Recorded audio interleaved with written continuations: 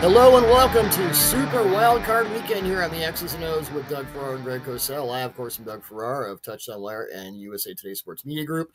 And the gentleman over there in the natty NFL Films hoodie, which I just love, is Greg Cosell of ESPN's NFL, ESPN NFL Films and ESPN's NFL Matchup. Greg has a lot of hats that he wears, although he's not wearing a hat right now. Greg, it's Super Wildcard Weekend in bulk, and we have a lot to discuss, so let's just get right the heck into it. Uh, Browns at Texans. Uh, now, the Browns have played single high on 64% of their snaps, the NFL's highest rate. CJ Stroud, and there are a lot of different iterations of that, but Sure. CJ Stroud, yeah. CJ Stroud this year against cover one and cover three, 141 of 228 for 2,054 yards, uh, 11 touchdowns, one interception, and a passer rating of 105.4. Only Dak Prescott and Lamar Jackson have higher passer ratings against middle of the field closed coverage this season. Stroud is great at challenging single high with crossers underneath and quick to intermediate out routes to displace cornerbacks playing the numbers, especially to Nico Collins. Those outs have been just devastating. Um, now, these two teams faced off in week 16. Browns won 36 22. Stroud was out with a concussion, so it was Davis Mills and Case Keenum. Um, what what you've seen from, and when we talk about the Browns single high specifically, it's a lot of invert two, it's a lot of invert one, it's a lot of invert three. So when we get into what Stroud will be facing, which he may not have faced before to this degree, how Jim Schwartz inverting his coverage affects what you see on the field if you're a quarterback.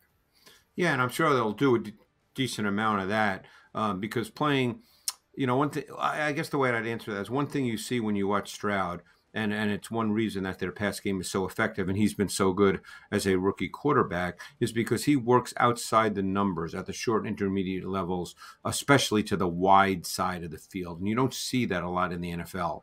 Uh, so that's one reason he's been effective. It's, it expands the Texans' passing game. Um, so if you're just playing kind of single high, whether it's man or cover three, you know, he can work outside the numbers well. So I think what you'll likely see from Jim Schwartz is just what you said, is you'll see a little more of muddying the look with with um, those sort of cover three inverts, those cover two inverts, those things where you're there's just a little uncertainty when you take the snap of the ball. Now, to Stroud's credit, he's been very good for a rookie quarterback at immediately processing late rotation and coverage. Um, Yes. But obviously, we're now in the playoffs, so you just don't know. But his his what he's done this year has indicated that he can do that well. Um, Right. So yeah, so I think that's that in, the pass game. That's what this game comes down to. He will get a lot of single high. He'll work outside the numbers. He'll work on on the crossers to Collins. Collins can run away from man coverage. Um, and uh, but you'll also get a lot of, of late rotation with some sort of hybrid coverage looks that he quite hasn't seen that way before. Yeah, although it's like we discussed the Vikings defense, uh, Jordan Love, and all that. When it was that the play we discussed where the Vikings were in single high, but you kind of knew what they were going to move to because they you have a whole season of tendencies now. So even you know, I, I think Stroud will think, and and you know, right or wrong to whatever degree, yeah, they're in two, but eventually they're going to flip to one because that's kind of who they are. Yeah, yeah, but I mean, when you first see all that movement, that might be a little different than what you've seen based on where guys are coming from and, and moving to. You know, it, we'll see. But I mean, he's been. It, it has not been a problem for him this year in his ability to react to late rotation. He's been able to just see it instantly, stay within the the structure and the timing of the play call, and get the ball out. Yeah, he he looks very much like he's been in the NFL for five years. It's tremendously impressive. So these two teams faced off, as I said, in week 16. Browns won 36-22. It was Davis Mills and Case Keenum because Stroud was out with a concussion. Joe Flacco had several explosive plays in that game. 27 to 42 for 368, three touchdowns. He also had two interceptions, which is the Joe Flacco experience because he's an aggressive thrower. I mean, he's like, Right. I'm going for it. Uh, the second interception came with five seconds left in the first half, so that was Hail Mary defense. But the first one with 139 left in the first half was on a slot vertical route to Marquise Goodwin, where Flacco's throw hung up a bit, and safety DeAndre Houston Carson came down with it. Flacco has eight interceptions since his comeback. Four have come on vertical routes from the slot, so that's something to watch for.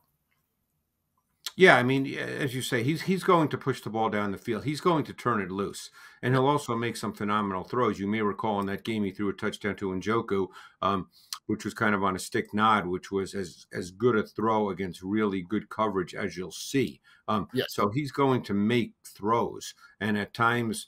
uh, you know, you know, Joe's belief, you know, having been in the league for a long time, and it's it's very simple for him, is that if he sees man coverage or, or you know it looks like man coverage even if it's his own concept but if it if it if it just appears to be one on one he's going to throw the ball um, and and that's just the way in which he plays. And again, we talked about Stroud working outside the numbers. Flacco has clearly expanded the Browns' passing game not only vertically but horizontally as well. Because no question, that, that is open. Yeah, that has opened a whole new can for Amari Cooper, by the way. Right, right. So you know, especially with that plus split wide receiver to the field now a factor. You know, it, it becomes a different and more difficult passing game to defend. Yes. Uh, don't expect the Browns to do much of the run game. That really hasn't been a feature since they lost Nick Chubb. The Texans have allowed 3.5 yards per carry this season. Only the Patriots have allowed less per carry at 3.3. Only the Browns, by the way, have more tackles for loss in the run game than Houston's 108. So neither of these teams should expect to run the ball very well, and we'll just see an air show we'll see how that works. Yeah, out. you know, and it's funny you say that because in that Week 16 game, Flacco was outstanding on play action, and mm-hmm. as you and I both know, you don't need to run the ball in order for play action to be effective. Please listen. Please clip this. Uh, our video guru Chris Corder, please clip exactly what Greg said. We're going to make a separate video on just that. You don't need good run play action. Please, God, yes, thank you. Anyway, um, yeah, so it's it's uh, you know I think the the Texans defense we haven't talked about it a lot. Um, you know their linebackers floated the ball well. It's very fundamentally sound as you'd expect from DeMeco Ryans and what Jim Schwartz is doing. My gosh, and I think Grant Delpit has been taken off injured reserve, so he might be available for this game. And uh, just real quick detail because we've talked about Delpit back when he was healthy, how important he is to that defense if he can go. Yeah, Delpit's been a really good player for them when healthy. Um, you know, he's predominantly played closer to the line of scrimmage, not 100% obviously, but he predominantly plays there because they're a, as you said, they're a single high foundational defense. Um, right. I think they've played as as many snaps of single high as any team in the league. So he's normally he's normally closer to the line of scrimmage, which is where he's really really good. Yep. Uh, so that's one interesting game on Saturday. The other one is Miami at Kansas City for all sorts. Oh, it's only going to be minus six with a wind chill of twenty degrees. This reminds me of the week I was in uh, Minneapolis for the Super Bowl, and every time I went outside, it was like, uh, man, Midwest cold. I'm in Seattle. Midwest cold hits different. Even East Coast cold, Midwest cold hits different. Uh, the Dolphins have an interesting new wrinkle. I'm sure you saw this in the run game. They showed on multiple plays against the Bills to great effect. De'Von Achane, who did not play in the Week Nine game against the Chiefs, had three explosive runs in this concept. Tua out of pistol with Achane behind him would take a handoff to the left a fake a handoff to the left to nobody. The target on each of those three fakes was linebacker Tyrel Dodson, and all three times Dodson had to respect the fake enough to slow his pursuit. It affected the run strength. And I guess these were fake counter pitches, for lack of a better term, but there was generally a tight end or, or fullback, Alec Ingold, as the lead blocker out of the backfield. And it was just one more of all the examples of how the Dolphins' use of eye candy in the run game can really mess your defense up. Now, the Chiefs have smart linebackers, and you know Spags will have a plan for this, but you know, especially with this weather, I think we need to talk about the two run games and how I'll say it again we don't talk about the Dolphins' run game, but in that 70 to 21 over the Broncos, they had 350 yards and five touchdowns on the ground. So that's a thing. Oh yeah, yeah, and you mentioned that you know their run game foundation against the Bills was what you said. It was that pistol toss to Achane, often with Mister with a misdirection element. You know, you want to get him on the perimeter. You see the speed. Um, all you need to do, all they're trying to do with the misdirection element is just have those second level defenders just for a beat, you know, yep. not not be certain as to what the play is, and that's enough. That's enough for the blockers to get out and and get angles and leverage, and it's enough for Achane to get you know on the perimeter. So you know that's what they're trying to do. I mean, their run. It's funny, you know, their their pass game, which I guess we won't know about pass games when it's six six uh, below with twenty uh, uh, with wind chill minus 20. We won't know about that. But, you know, the, just in general, their run game, they try to get guys on the perimeter, but their pass game works between the numbers. It's kind of an interesting way that they play. Um, but, um, uh, you know, I think talking about the run game, look, we've talked about this over the last two months or so. The Chiefs really foundationally, what they've done well is run the ball and play good defense. That's really been what the Chiefs have been over the last two months. Yes. Uh, so that's not only do you, you don't need uh, play action to work with a good run game. You don't even need to have someone there to fake it to because in all three of those explosive plays, Tua faked it to nobody, and you still have to stop. It was pretty cool. Um, in that week nine game, Raheem Mostert ran 12 times for 85 yards and a touchdown. He had three explosive runs that were more standard run game concepts. Yep. But Mostert is a back who can be explosive at the second and third levels, and he leads the NFL with 18 rushing touchdowns. So again, you can run on this Chiefs defense to a point as good as, as it has been, and they have not seen Achane as as part of that structure. Um, so we'll see. Uh, on that yeah, side, I mean, everything seems to happen a little slower in that kind of weather. Um, sure. You know, one of the things with the Chiefs run game that they've done really well is the gap scheme runs. Um, Yes. So I think we'll we'll obviously see that. Um, it's almost impossible. I mean, it is for me. I don't know how you feel about it, but it's almost impossible for me to get any sense of what pass games might, might look like when the wind chill's 20, 20 below. I, I don't really have Oh, any no. idea there. No, it was like that uh, Patriots Bills game a few years back where Mac Jones threw like four Threw three balls. He threw three balls. And they just you know demolished them with counter. You know, yeah, it was Yeah, I mean, it's it's, it's So that's why I wanna talk to know that. yeah, I want to talk about the run game. Isaiah Pacheco had 16 carries for 66 yards in that Miami game. No explosive runs, but sustaining. Maybe he pops a couple against Miami's defense because now they've got. Uh, oh, let's see. They've just signed Justin Houston and Bruce Irvin, and they already have Melvin Ingram, which is a good thing because Greg, if they didn't, I think you and I would be playing edge rusher for the Dolphins uh, this weekend. I think Yeah. So the question is, what do the Chiefs line up in? Because um, you mentioned edge rusher, but the Chiefs do line up a lot in multiple tight end personnel sets. they lead the league for the second year in a row in 13 personnel in the passing game. Yeah. So- but I mean, just in general, just the uh, what they line up in from a percentage standpoint, Doug. I mean, there's a lot of 12, there's a lot of 13. They run the ball out of that. So the point I'm trying to make is, you know, now do you get the Dolphins in their base front, which is more of a 5-2, so it's not really an edge rush situation. So, you know, we'll see how this game plays out. I mean, this like I think we both agree it's hard to know about the pass game. You know, Yeah. we could be in an odd way, we could be looking at a 13-10 kind of game in which the pass game is not a big factor. You know, the other interesting thing with the Chiefs is clearly their pass game hasn't been very good over the last couple of months, and Travis Kelce has not really been a factor for quite some time now. No, he hasn't. Um, well, yeah, that was my point about Pacheco. He's a sustaining runner. Maybe Yep. he pops a couple against that depleted defense, but the Chiefs may need him to because Pacheco can be a sustaining back. But what does that offense do around the sustaining plays? They're going to need more than five yard runs and checkdowns against the blitz. Now, in the Miami Buffalo game, as his pass rushers kept dropping and dropping, Vic Fangio started blitzing more and more. Vic sent six or more rushers on 103 plays in weeks one through 17. Against the Bills in week 18, Miami sent six or more rushers on 14 plays. And against those packages, Josh Allen completed two or two of four passes for 43 yards, no touchdowns, and the interception to Eli Apple. Um, now, the book has been you never blitz Mahomes. With all the problems in their passing game, that's still true. Against six or more, 16 of 22 for 177 yards, 45 air yards, four touchdowns, no interceptions, and a passer rating of 135.8. So I don't know that Vic will blitz. I think it it could be more. I mean, do they do the rush three drop eight thing that the Bengals did? See if that works. I, I don't know. I mean, I think, I don't know only because I don't know until we see what the past games could look like in that kind of weather. So, Right. you know, it, it just might be different overall. I mean, I, think both teams are not going to be certain about how they can play until they start playing. You can try to plan for that, but and, and you're going to hear a lot of talk about, well, you know, Miami's not used to that weather. No one's used to 20 below. I don't care. I don't care where you live. No one's used to 20 below, uh, especially be out there playing football. So we'll see if the pass games, you know, become a factor in the game. I mean, like I said, this could be run game based, defense based.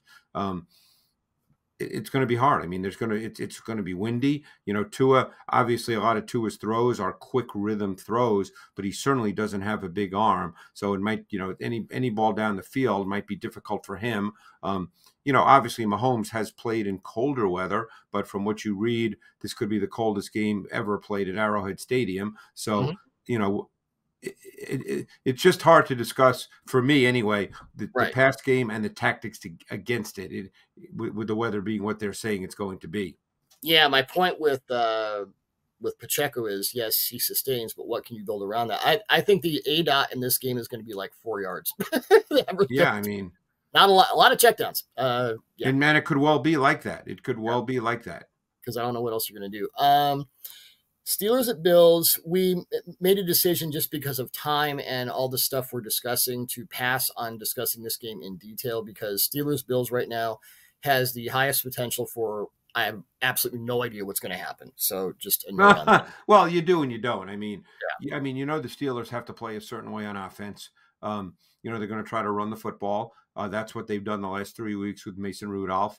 Um, and then they try to, you know, throw it down the field here and there because he can push the ball down the field a little bit. Um, but, you know, that's the way they have to play. It, it can't be a Mason Rudolph game. Um, you know, and it can't be a YOLO Josh Allen game either, like the first quarter of that week 18 game was. Well, I mean, Josh Allen's going to play like Josh Allen, and people can discuss him all day long. You know, the fact is, um, you know, obviously through the two picks, um, the second one, you know, we don't know what's in Josh Allen's head, but the second one could have him could have also have been him being smart, fourth and two. He's not going to get a first down. Don't throw an incompletion or take a sack. You know, who knows? We don't know the answer to that. We don't know what's in his head. Um, but then he settled into that game, Doug. And I mean, he was 14 for 15 in the second half. He only missed eight throws in the entire game. So, um, you know, and, and they got him into a rhythm. There were a lot of quick rhythm throws that that he made in that game. Um, you know, the Steelers defense, Watt's going to be out. They're hoping Fitzpatrick plays. You know, I guess we're talking on a Wednesday. We don't know the answer to that yet. They're hopeful. Right. Um, so, you know, the, the Bills, I think, are going to play the way the Bills play, and you're going to get Josh Allen. I mean, yep. could he throw a bad pick? Of course he could. This is the way in which he plays. But he also, you know, you get, got to the second half and fourth quarter of that game, and he was the driving force behind the Bills winning that game. Yeah, And he'll throw, you know, one of those uh, play, and then he'll throw some just astronaut balls like nobody else in the league could do. So that's right. And, and then you also have the run game element with him. I mean, yep. at third and thirteen, where he ran for 15 yards. I mean, he's, you know, he's this is him. You know, I mean, that's just the way it is. You know, and and eh, people lose sight of the fact, and I know everybody wants to talk Super Bowls, and obviously he's not been there and he's not won one, but you know they've won a lot of games since he's become the starting quarterback. Yep yeah, a lot of things can happen in a Super Bowl, so you just never know. uh, Packers at Cowboys. Per next gen stats, Jordan Love completed all seven of his play action passes for 116 yards and a touchdown against the Bears in week 18. He has thrown a league high 912 yards off play action since week nine. Just one more re- one more way in which he's killing it. I don't want to talk about Love or Dak Prescott in the Packers Cowboys matchup because we've talked about them a lot. I want to talk about, and you brought this up on the phone yesterday, the Packers run game. Over the last three weeks, Greg, Aaron Jones has 63 carries for a league high 359 yards, 5.7 yards per carry, and four runs at 15 or more yards. Only James Conner of the Cardinals has more, five. And Conner got to face the Eagles and Seahawks run defenses over the last two games, so I don't think that even counts. You got to put an asterisk on that one. But the 14 yard run against the Bears last week was a great example of how the Packers get Jones going. They had tight ends uh, Josiah Deguara, uh, from right to left, motioned him, and then tight end Tucker Kraft moved from the right side of the formation to de- seal the left inside edge against linebacker TJ Edwards. Left tackle Rasheed Walker kicked up to take linebacker Tremaine Edmunds. Yeah, he moved. Him, he literally moved him 15 yards down the I field. I know, right? And then yeah, Deguara yeah. took out Quan Brisker, the safety, and Romeo Doubs was busy keeping Tyrique Stevenson out of the play for a bit. Stevenson made the tackle, but you know we've talked about how much the, Pack, the Packers are young. They're making us feel old because they have more players born in the in this uh, millennium than anyone else. Which, gosh, ugh. Uh, but they're very on point with their blocking concepts for such a young team on that side of the ball. And when you watch the run game, you get a similar sense of just really good fundamentals from a team that is so young. We know about the passing game, but yeah. the Cowboys, and we'll get into the Cowboys in the run game in a second, they got to watch out for that because Aaron Jones is cooking with gas right now. Well, if you want to feel old, Doug, uh, Rod Stewart is 79 years old today. So if you I know all, old, there's but, a lot but, of yeah, there's a lot. Yeah, but anyway, that uh, yeah, that 14 yard run, which was on their first possession, um, that was basically a that was just a well designed counter misdirection concept. It was it was really kind of a cool play. But uh, but you made a point about Jones. I mean, he's had he ended the season with three consecutive games of 20 plus carries and 111 plus yards, and that's sort of been overlooked. Love though has played really excellent football. Um, Yep. It's not a matter of talking about love, but it's a matter of, of of talking about how they go about their their pass game. Um, Sure. Because they're going to face man coverage, so you're going to have to have man beaters in this game. And the other thing you're going to do is you're going to see a ton of motion.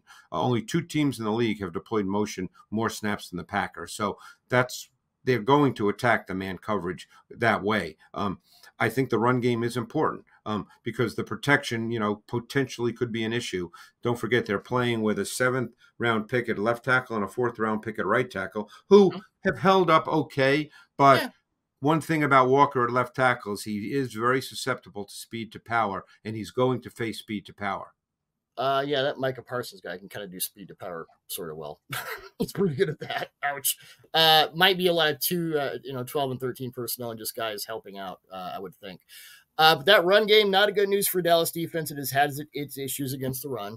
They're very light up front, and that issue has exacerbated itself since defensive tackle Johnathan Hankins suffered a high ankle sprain in week 14. The good news is that Hankins was back on the field for the first time since that injury. Uh, he was on the field for the command against the Commanders in week 18. Limited snaps, but he's a huge factor in Dan Quinn's defense. He allows Quinn to be far more creative with all his dime and light nickel stuff without worrying about the front four. So if he's back, you know, 80%, it, it gives a, a slightly different color to the game. Yeah, it could. Um, you know, I think that um, you know we know that the pass rush is really a strength of, of of what the Cowboys do. They play a ton of big nickel with three safeties. Um, you know, the, the Packers do line up a lot in, in 12 personnel, and Musgrave is back now. I mean, Yep. they've got two really good tight ends in Musgrave and Kraft. Kraft has really come on with Musgrave being out for a good part of the season.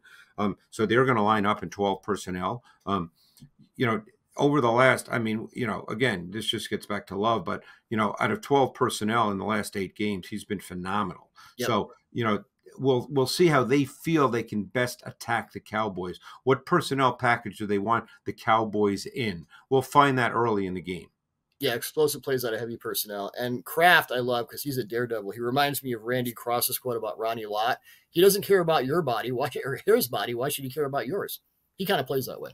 Yeah, I mean, in the last three games, the Packers have played 44% of their offensive snaps at a 12 personnel. So, you know, and now Musgrave, you know, is truly back. Only played nine or 10 snaps last week. I imagine he'll be ready to play a lot more this week. So, you know, like I said, you know, so much is personnel based. What Yep. personnel package do they want the Cowboys in? And then we'll find that out, you know, relatively early in the game. Uh, moving to Rams at Lions, and I don't know if I've been possessed by Chuck Knox, but I just want to talk a lot about run games. So let's talk about the Rams' run game. They are so good, Greg, at using pre-snap motion to take their def- defense away from the run fits and keys. The timing and geometry are outstanding. They also use motion to steal the edge, seal the edge. The receivers and tight ends are good blockers, and the offensive line is aligned more expertly than you might think if you haven't been paying attention to the Rams' run game. Kyren Williams' 14 yard running against the Ravens with 7.22 left in the fourth quarter in week 14 was a really good example of that. This was duo, and we'll put the play up because it's really cool. Uh, center Coleman Shelton and left guard Steve Avila, who's been really good as a rookie. Uh, doubling defensive tackle Travis Jones, right guard Kevin Dotson, and right tackle Joseph Noteboom, doubling defensive tackle Broderick Washington Jr. Then Shelton kicked up to steal Patrick Queen. Noteboom took Roquan Smith out, and Williams had a pretty easy gap against one of the NFL's best defenses. Um, no team has run more with motion than the Rams. I know we use two different stat services, and yours says the Dolphins, but they're both way up there. Well, they both run a lot. Yeah, they both feature motion. Right. Here's what's changed, given uh, Sean McVay's schematic history. How often they run some sort of gap blocking scheme this season. In 2020, they ran 17% gap. In 2021, 20%. In 2022, 29%. This year, 42%. They've become a gap team, Greg. And I, I think that has a lot to do with what Kyren Williams prefers, but this happened before he got there. They're they're moving in a different direction. Yeah, but it does fit him well. Um, yes. because he's he's not really an outside zone runner. I mean, you can think back to the days of Todd Gurley when he had those two or three great years. Because Williams, you know, Williams is not an explosive back. He's a quick back. Um, he's a north south guy. Um, he's kind of a no nonsense runner. Um, you know, so so the gap scheme fits him better than outside zone. Um, so you see a lot of you see gap scheme, you see duo. You know these are the runs that they now feature because it really fits well. Um, and by the way, you said it was it's not just him. It probably fit Cam Akers well in addition, and he oh, was true. really he was kind of their feature back before Kyren yeah. Williams. Um, I could see that definitely. So, so you know, this is what they moved to, which is smart football. I mean, you know, it's it's like anything. You know, your pass game has to fit your quarterback. Your run game fits your running back. So that's what they're doing because it really fits Kyren Williams. And obviously, we know McVay believes in running the football as a, as a foundation of what he wants to get done offensively. We always think about the pass game because they mm-hmm. do some really cool stuff, you know, with with um, all the the the reduced splits, the stacks, the motions, um, you know, all the things they do, the bunches, but they he wants to run the football. Yep. Lions have a very good run defense. They've allowed 3.7 yards per carry, um, third best in the NFL behind the Patriots and the Texans. The Rams are in the middle of the pack, and the the Lions also have a very good uh, run game with Ben Johnson and Jahmyr Gibbs and Montgomery. Uh, the Lions, a couple things you and I discussed on the phone. The Lions, who are now famous for tackle eligible issues, have used six offensive linemen a ton this season. They really went all out against the Vikings in week 18. You think of heavy personnel in the run game, but last week, Jared Goff completed eight of nine passes with six offensive linemen on the field for 152 yards, 73 air yards, two touchdowns, no interceptions, and the highest possible passer rating of 158.3. His explosive plays out of 6OL were completions of 34 and 70 yards to Amon-Ra St. Brown against two different Vikings blitzes. The Rams have blitzed on 24% of their snaps this season, which ranks 16th in the league. They're more likely to get you a TT stunts with Aaron Donald and my defensive rookie of the year, Kobie Turner. They got Joe Flacco for a safety with one of those in week 12. So they're blitz, they're stunt, they're variable, they're versatile, but that's a matchup to watch with Aaron Donald and Kobie Turner and Byron Young and those guys. You know, they're they're one of the top pressure teams in the second half of the season against a Lions offensive line that's already good with five and gets really interesting with six, especially in the passing game. Yeah, I mean, this past week they played uh, Dan Skipper 17 snaps. It's the yep. most they played with six offensive linemen in any game. And as you said, they don't just run out of that. It's not meant just to be heavy. Let's run it. They do throw out of it. Um, you know, it does afford you better protection, obviously, with a sixth offensive lineman. Um, and we'll see. You know, with Hockenson and uh, Hockenson, excuse me, with LaPorta, LaPorta, I we have really haven't heard yet. But even Dan if he Campbell has said he's got an outside shot to play so even if he does, he, he's not likely to play 50 snaps. No. Um, so I think you could continue to see that.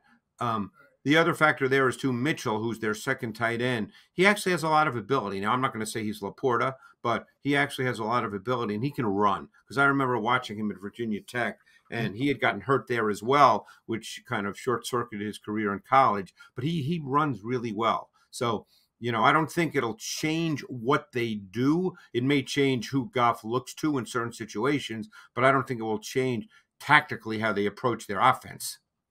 Whoever Goff looks to, Greg, they're going to use under center play action. We know this. Uh, uh, that we do. Uh, Jared Goff has 135 dropbacks with under center play action this season. He's completed 92, 130 for 1258, 588 air yards, seven touchdowns, one interception, and passer rating of 116.1. The guy who ranks second in dropbacks with under center play action, Greg? Matthew Stafford. We're going to see a lot of this in this game. Can you explain quickly the differences for quarterbacks and why some might be more adept with under center? Obviously, you have to turn your head and turn it back around, but why well, some quarterbacks thrive with this, and both quarterbacks in this game especially do.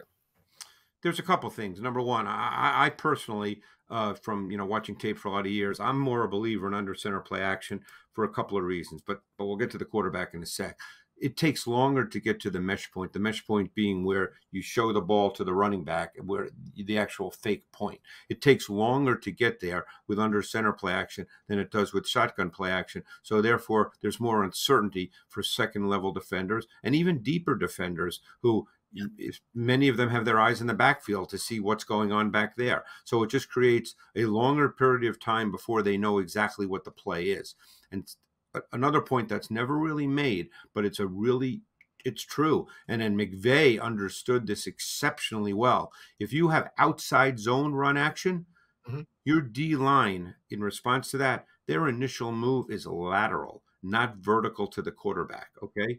So So think about that. That means they're not rushing the quarterback right off the snap of the ball. They're moving laterally in response to outside zone run action. So it gives the quarterback a little more time to be secure in the pocket because normally with under center play action, you have deeper routes. Now, when I say deeper, I don't mean vertical, you know, 60 yard throws, but you you need your receivers to kind of work their routes a little bit more. So you right. need your quarterback to be secure in the pocket.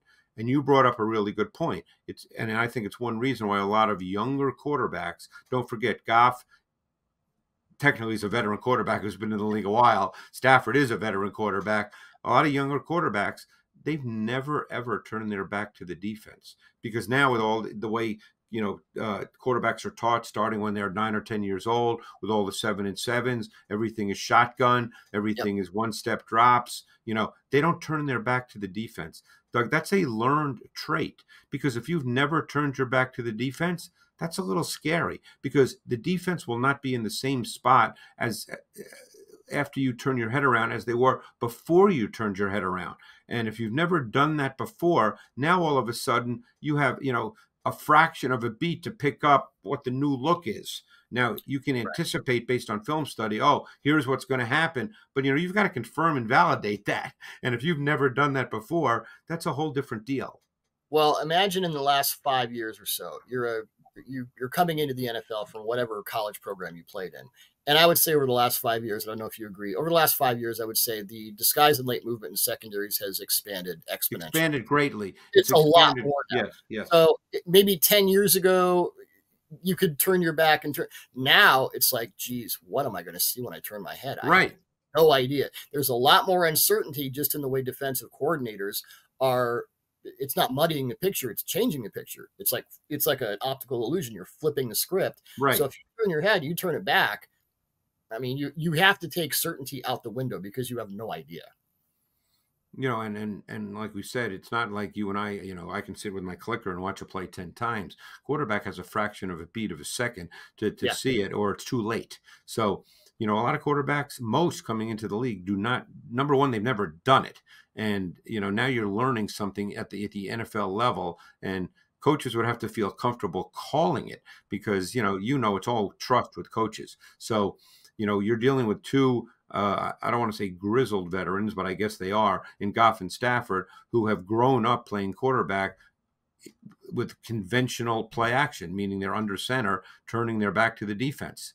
I mean, Goff literally. I mean, my numbers are slightly different than yours. You know, it could just be you know a different website, but I have 143 of 159 dropbacks, play action dropbacks for Goff have come with him under center.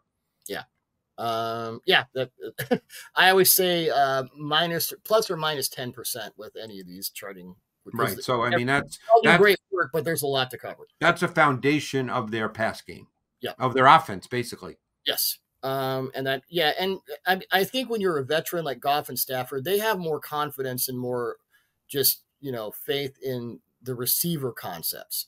If you're coming in right from college, you don't know your receivers yet. So you don't okay if I throw the you know if I throw the, the dig to Puka, he's got it. I don't care what the coverage is. But if you're coming in from college, you don't know your receivers that much more than you know the defenses. So well, and it's also a function of what what a lot of coaches call functional knowledge. Mm-hmm. When you're a quarterback, you, are not reading five guys. You no. can't. It's not humanly possible. So guys who've done this have a better understanding that hey, I know my route combination. So when I do turn my head around, the, this these are the one or two guys I really need to pick up. I don't need to pick up, you know, five guys because you can't. So they they have just a clearer sense because if you've never done done a lot of this stuff, when you turn around, you just see a mass of people, and if mm-hmm. you don't have a sense of okay, this is who I really need to see, like you know, then then it just you. I remember Jaws telling me that when you drop back, there were just some plays where you drop back and you see everything, but you're really seeing nothing. And mm-hmm. I think that's what happens a lot with with young quarterbacks is they drop back and they see it all, but it's just a mass of bodies. There's no definition to what they're seeing. Well, yeah, when I was learning to watch tape, I, I now I can I'm a lot better just because I've done it for a long time. I've had people like you to, to teach me how to watch tape. Um, at first, it was just a big amalgam of stuff, like right going on here, and over time, oh, I can isolate it to five and three and then one and then with the one, oh, okay, now I'm actually getting the coverage right as opposed to last year when I didn't, you know, I didn't and that's know. why I use the term with quarterbacks, and I know it's the same as processing, but you know, years ago I just thought of it in terms of elimination and isolation.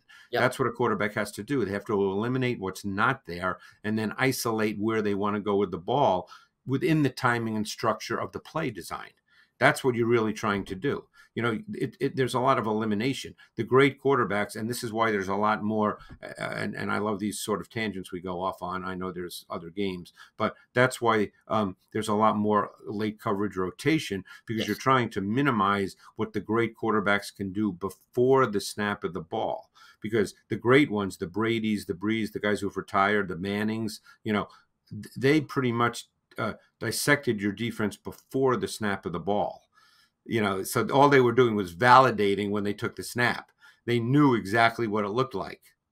we have young quarterbacks who are surprisingly. I think Purdy is surprisingly advanced at Stroud. Purdy's phenomenal at it. Stroud's some guys really coming up are really in their first and second years dialing that up and doing it. And really well. and that's a hard trait to see. You know, you watch college, uh, you do college evaluations as I've done for years.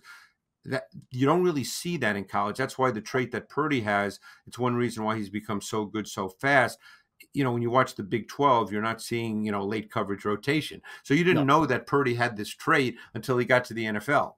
yeah, you didn't see it with Stroud. Oh, the Georgia game was a revelation. Well, yeah, it was for a lot of reasons, but you know, I, I digress. Um, yeah, and by the way, when you turn their back and turn it back around, Micah Parsons and T.J. Watt and Myles Garrett and uh, Chris Jones, those guys can cover a lot of ground in the time it takes you to turn your back and then turn around. So it gets a little scary back there. Yeah, it's not comfortable turning you away from everybody on the field. Yeah, you have a lot, a lot of faith. Um, Yeah. So final game, I think we went on that tangent just so you could delay talking about the Eagles, but we have to go there, Greg. Eagles at Buccaneers. Well, It's a very interesting tactical game. yes, And, you know, I mean, obviously, you know, we people are, are down on the Eagles and and you know they've not played well for many reasons. We're not going to get into all their issues. We're going to talk about it in the context of this game. yes, And one of the things that I think is really going to stand out is you and I both know Todd Bowles is a heavy blitzer. Okay. Yes. And he's been doing that for years. Shoot, I can remember sitting in my office with Ron Jaworski, you know, going back to 2007, 2008, when he Mhm. was the Dolphins defensive coordinator and watching him do what we would call triple A gap blitzes with safety Jeremiah Bell. I remember, you know, Oh, yeah, I remember. seven, you know, and, and he still does those kinds of things. And, and they're going to attack the Eagles offense. The Eagles have struggled with pressure. Um, this week was was a bad outing for Jalen Hurts mentally. I mean, you know, it is incumbent upon the quarterback, even if he's not calling the protections. Now, every quarterback can override a center, by the way. You know, Right. very often centers are given the task of calling protections, um, but quarterbacks can override that if they see something. Um, Mhm. But he just didn't, you know, it, it's incumbent upon the quarterback to understand fronts and pressures and coverage. He's got to understand that. And for whatever reason, this week, Hurts was just did not see it the right way, and that's on tape. And we know the Bucks blitz. I believe 15 or 16 of their 48 sacks have come from non-defensive linemen. So you're going to see White blitz. You're going to see David blitz. You're going to see I have Winfield twenty five point five sacks from the linebackers D- and DBs this season. Yeah, you're going to see Neal blitz. You're going to see. I mean, Winfield is a really good blitzer. Can we talk about him. for a minute? Because outside of Kyle Hamilton, I don't think there's a better safety in the NFL. There might not be. I mean, he's he's not multi-dimensional. He's like Hamilton, he's everywhere. What they do a great job with with their pressures, Doug, is they attack gaps. So in other words, I mentioned the triple A gap. They'll they'll send two or three in the A gap. They'll Mhm. send two or in the B gap. They attack gaps, and they do such a good job with that. So you you know, uh, Hurts and the O line. It's the O line as well. Uh, they have to be aware of where people are. But don't forget, you know, Jason Kelce. You know, if he's calling protection, then he then he puts his head down. He's not going to see Winfield twelve yards from the line of scrimmage. You know, No. so you know that's where your quarterback it's incumbent upon him to see all that and recognize that and if necessary override the protection call Yeah, they have uh, Christian Izien, the uh, rookie slot the rookie free agent from Rutgers who's been their Yeah. slot pretty much all year and he get he's really good on those delayed blitzes. Well, the, the problem with the Buccaneers, if you're a quarterback, it's not just that they blitz so much. Uh, 40.1% of their snaps, which is third highest in the league behind the Vikings and the Giants. No surprise there. But in week three, the Bucks blitz Hurts on 22 of his 37 dropbacks Hurts completed 13 of 21 for 152 yards, no touchdowns, two interceptions, passer rating of 44.2. Now, 16 of those blitzes get muddy because Tampa Bay will run some five man base fronts, but there were enough snaps of the four man front and a blitzer for that to, you know, you can kind of separate if you watch every play right. one another. But they would send Lavonte David and Devin White on edge blitzes from the second level. Uh, at times, those looks were to contain the edge. They were kind of mush rushing with the blitz. So it's it's yes, they blitz a lot, and yes, they blitz different guys, but they also use different concepts. And even, I mean, I would not call a mush rush a blitz, Greg. I would say in in that case, you're you're containing gaps as opposed to a blitz to me is you are arraying five or more defenders against the quarterback that's not what this was a lot of the time so with Bowles it's not just that he's throwing you a lot of pitches but he's got the fastball he's got the circle change he's got right. the slider he will throw everything at you that's tough yeah, and and you know, week three, the Eagles were obviously playing a lot better football and offense than they are now. Although they did struggle in that game. Um, yes, You know, so uh, we'll see. You know, they've not played well. They've not handled pressure well. Um, and, uh, you know, this obviously we're in the playoffs, so it's a clean slate. But, you know, the, the track record the last number of weeks has not been good at all in terms of handling pressure. I found one play interesting. Hurts's interception to Devin White with 48 seconds left in the first half in week three. They had David White mugged up in the B gaps. Uh, it was a B gap mug, not like right over the center. Uh, Vita, Vita Vea wasn't nose. Both linebackers dropped out in cover three. Rookie cornerback uh, Christian Izien, is it Izien? I'm sorry. I believe so. Uh, got through on a delayed blitz from outside. Hurts attempted a quick Texas route to D'Andre Swift. Hurts threw it behind where Swift was going. The timing of the route was so off; it looked like White was. it looks like he was throwing to White, and he had to wait for Swift to clear out. That was not a good play, Greg. That was bad. No, I mean, and, and the thing is, if he had if he had hit uh, Swift in stride, he might have scored. Um, so yeah, it was just a, a bad throw by by Hurts. But um, you know, so that side of the ball is interesting, and the other side is too, because the Eagles on defense, you know, it's it's we've we've discussed their their issues. Uh, you know, they haven't been able to rush the quarterback. They don't cover particularly well. They've gotten old in the secondary real fast. Now, I guess Slay is supposed to be back this week. Um, in the week three game, starting sort of late second quarter, they started to match him up to Evans. Um, will I would imagine they would continue to do that because uh, they really don't have anybody else that I would think they'd feel comfortable with. My guess is you'll see the Eagles play a lot of zone coverage in this game because what they've been doing, they've been playing dime a lot more under Patricia than they did under Desai.